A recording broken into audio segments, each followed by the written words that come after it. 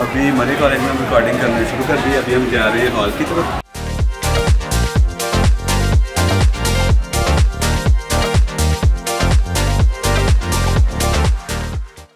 मैंने तो एक दिन भी जब डिग्री ली तो मैंने अगले दिन ही अपने डिपार्टमेंट को कह दिया जी मुझे वापस भेज दें मैं अपने मुल्क जाना चाहता हूँ।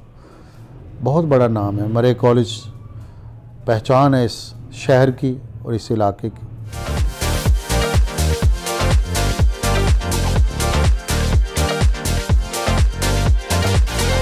सर कैसे हैं आप? वालेकुम सलाम अल्हम्दुलिल्लाह मैं यहाँ बी एस आई टी कर रहा हूँ। फिफ्थ सेमेस्टर है मेरा मैं B S physics fifth semester से हूँ My name is Mohammad Qasim. I am teaching here uh, botany subject. Economics department से हूँ seven semester from BS English first semester. from BS Botany, first semester. मैं B S I T कर रहा हूँ fifth semester है मेरा भी जी experience यही रहा है कि यहाँ पे बहुत अच्छा इन्वायरमेंट है सिक्योरिटी गार्ड यहाँ पे अवेलेबल होते हैं हर टाइम और पढ़ाई का प्रेशर बॉटनी वाले आपको तो काफ़ी प्रेशर होता होगा हर वक्त पढ़ते रहना तो वो प्रेशर हैंडल करने का आप क्या कोई एडवाइस देंगे कि रोज़ कितने घंटे पढ़ना अगर लेक्चर गौर से समझ लो ना मतलब फोकस करके तो फिर तो जल्दी हो जाता है। तो अगर ना समझो तो फिर तो मतलब पूरी रात भी पढ़ते रहो तो कोई समझ नहीं आती। नंबर अच्छे कैसे ले सकते हैं यहाँ पे? जी वही मेहनत अपनी आपने करनी है। जा रहे हैं बायोलॉजी डिपार्टमेंट में इनका एक हर्बेरियम है वो देखने के लिए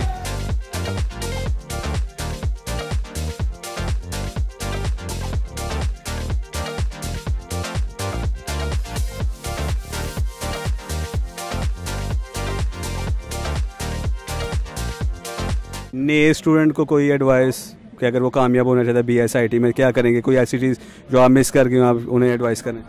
नसीहत यही है कि पढ़ना पड़ता है क्योंकि आईटी में आगे सब्जेक्ट ही ऐसा है कि बंदा करेगा नहीं तो बंदे को आएगा नहीं। ये बताएँ कि इसकी जॉब अपॉर्चुनिटीज़ क्या है? मतलब बड़ी फ्रैंकली मैं आपसे सवाल करूँगा।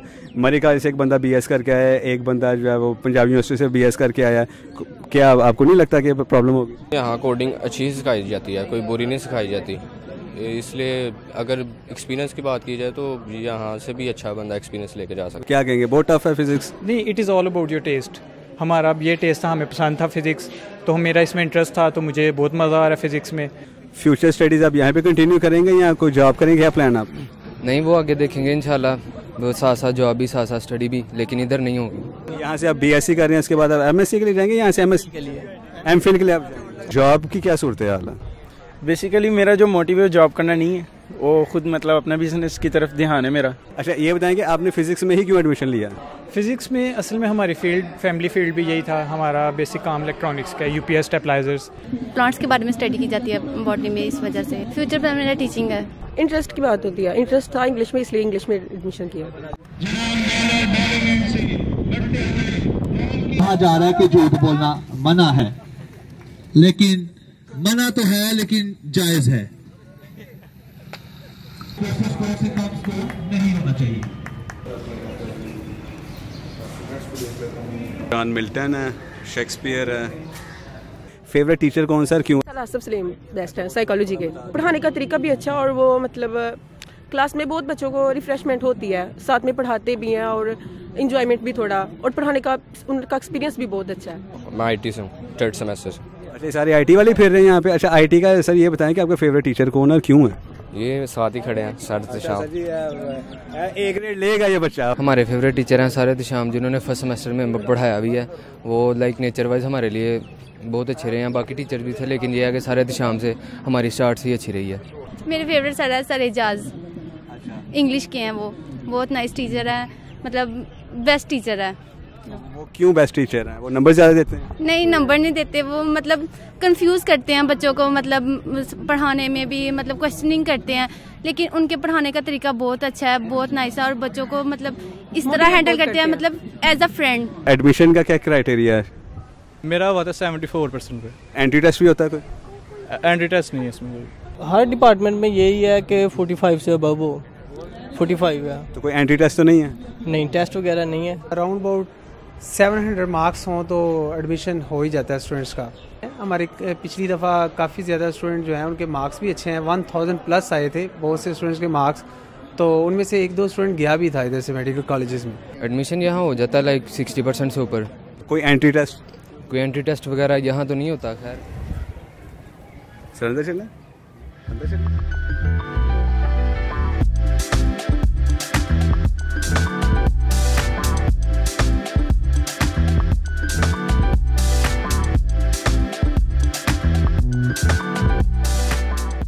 कितनी किताबें इशू रहती हैं? हर से है। तो कंटिन्यू रोज रोज़ के तकरीबन पंद्रह बीस पच्चीस इशू होती है। यहाँ पे गैर निसाबी सरगर्मियाँ क्या होती हैं स्पोर्ट्स के हवाले से अगर मैं करना चाहूँ? यहाँ पे क्रिकेट खेला जाता है और फुटबॉल खेला जाता है। इस तरह आप बैडमिंटन खेल सकते हैं। इस टाइम आप रिप्रेजेंट कर रही हैं खातन को हमारे कॉलेज के अंदर। खातन यहाँ पे गैर निसाबी सरगर्मियाँ उनकी क्या हैं? हाँ अभी क्या नसाबी सरगर्मी में इन्होंने काफ़ी हिस्सा लिया स्पोर्ट डे हुआ ना इधर। तो अल्हम्दुलिल्लाह इन्होंने पूरा पूरा सपोर्ट किया गर्ल्स को। और मतलब ऐसे जीएमसी हम जब जहाँ तक सुना ना था उससे भी बेस्ट निकला है। टेबल टेनिस है बास्केटबॉल भी है। स्विमिंग भी कर सकते हैं। नहीं स्विमिंग नहीं है। वैसे तालाब है वहाँ पे कर सकते हैं। ये प्रेयर रूम जो है ये तो मर्दों के लिए खातन के प्रेयर रूम यहाँ पे किस तरफ़ है? लड़कियों का उत्तर है। मतलब मीर हसन हॉल के पास। आप, आप कुछ बताएँगे अपने हार्डवेयर के प्रोजेक्ट्स कौन से किए हैं अभी तक? अभी तक हमने एंड गेट नॉट गेट अभी हमने कल किया था transistor as a switch transient जब आपके चार सेमेस्टर हो जाते हैं उसके बाद ही बेसिकल आप प्रोजेक्ट्स बनाने शुरू करते हैं। उससे पहले सारी हमें गाइडेंस वगैरह मिलती है कि आपने प्रैक्टिस किस तरह यूज़ करना है ये बहुत सारे एक्सपेरिमेंट हैं उसमें लॉजिक गेट्स है जिसमें डायोड हम इस्तेमाल करते हैं। फिर ट्रांजिस्टर के बारे में बहुत सारे एक्सपेरिमेंट टोटल कितने एक्सपेरिमेंट हैं इस सब्जेक्ट के लिए? ज़्यादा हैं, दस बारह के करीब हैं। जो रिसर्च एक्टिविटीज़ जो साइंस के अंदर तरक्की उन मुल्कों में है, ये हमारे मुल्क के अंदर भी होनी चाहिए। हम दुनिया में तभी बाइज़त मुकाम हासिल कर सकते हैं कि जब हम साइंस और टेक्नोलॉजी में ऊपर जाएँ। स्टूडेंट के लिए एक ही पैगाम है जी वर्क हार्ड और यूनिटी फेथ डिसिप्लिन जो हमारे कायद ने हमें जो जो गाइडिंग लाइन दी है we have to follow that और शॉर्टकट नहीं ढूंढें, मेहनत करें। बस मेहनत से ही हम ऊपर जा सकते हैं, कोई शॉर्टकट नहीं है।